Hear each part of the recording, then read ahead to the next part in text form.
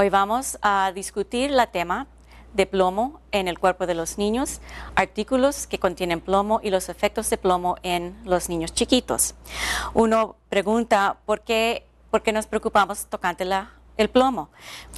La exposición al plomo es especialmente peligrosa para niños chiquitos y bebés que todavía no han nacido porque poquito, poquito plomo puede causar problemas permanentes en los niños. Problemas pueden incluir crecimiento y desarrollo atrasado, problemas con comportamiento y problemas con aprendizaje. Uno pregunta, ¿cómo, cómo entra el plomo al cuerpo del niño? El, plomo usualmente entra al cuerpo del niño cuando el niño traga algo que contiene partículas de plomo. Uh, cosas que pueden tener el plomo son pintura vieja, dulces mexicanos o dulces importadas, ropa de trabajo, por ejemplo, si algo, alguien trabaja en garaje o en construcción, tiza y creyones importadas, remedios caseros como azarcón y greta, cerámica importada, por ejemplo, de México o de China, y tierra y polvo. También, si la mamá, una mujer embarazada, está expuesta a plomo, lo puede pasar a su niño que todavía no ha nacido. también por eso nos preocupamos por las mujeres embarazadas. ¿Qué son los síntomas? Muchos niños no tienen ningún síntoma, no se ven enfermos. El único método de saber si su niño ha sido expuesto al plomo es por un análisis de sangre.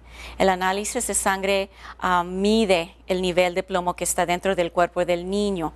El resultado es en un número, lo más bajo el número, lo mejor hay dos tipos de análisis de sangre que se hacen. La prueba mejor es un análisis de sangre por vena. Es recomendado que todos los niños tengan la prueba a los 12 y 24 meses de edad, pero a lo menos antes de los 6 años de edad. Ah, y esta prueba es requerido por Medicaid a los 12 y 24 meses de edad. Aquí en el Departamento de Salud tenemos una prueba que es por piquetito en el dedo. Eso nomás es una prueba primaria para ver, para ver si, uno, si hay chance que uno ha sido expuesto al plomo. Si ese resultado es elevado, por ejemplo, es un resultado de 10 o más, vamos a recomendar que el niño de todos modos vaya a un laboratorio para tener el análisis de sangre por vena, porque esa es la prueba que confirma eso. Tratamientos para un niño que tiene el nivel poquito elevado o elevado de plomo es mantener la nutrición saludable, especialmente comer comidas ricas en calcio, porque el plomo lo que hacen los niños que están desarrollándose es que el plomo se mete en los huesos donde está el calcio.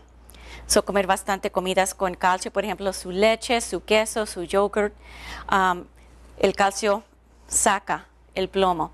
También comidas ricas en hierro, por ejemplo, sus carnes, sus frijoles y comidas que, contienen bastante vitamina C, porque el vitamina C ayuda a que el cuerpo absorbe el hierro.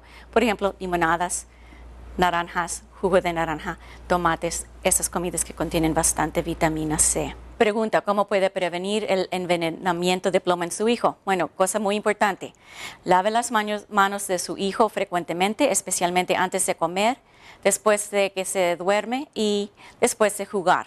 También no, le dé remedios caseros, otros medicamentos que el doctor no ha recomendado y no deje que su hijo o hija come dulces importados. Ahora quiero introducir a mi compañera Erika, que es de la Universidad UNLV. Ella va a discutir las fuentes de plomo. Una de las cosas que usamos para verificar si hay plomo en su casa o en productos que puede tener en su casa es esta máquina que tiene rayos X para detectar el contenido de plomo. Solo que estamos viendo si el contenido tiene más está más alto que las regulaciones de pintura, que es un miligramo por centímetro cuadrado.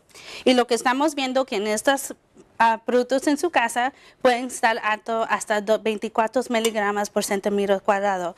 Lo que recomendamos si tienen productos así en su casa, que uno pueden llamar al distrito de salud para hacer una cita para ver si uno de estos productos que tiene en su casa tiene altos niveles de plomo. Es importante que con estos productos no les usen para guardar comida, para servir la comida o para cocinar su comida. También hay otros pr- productos en su casa que pueden tener plomo. Pueden estar como, como los, ah, los hacen en el manufacturer. Si tienen más preguntas, pueden hablarnos en el número que está en la pantalla.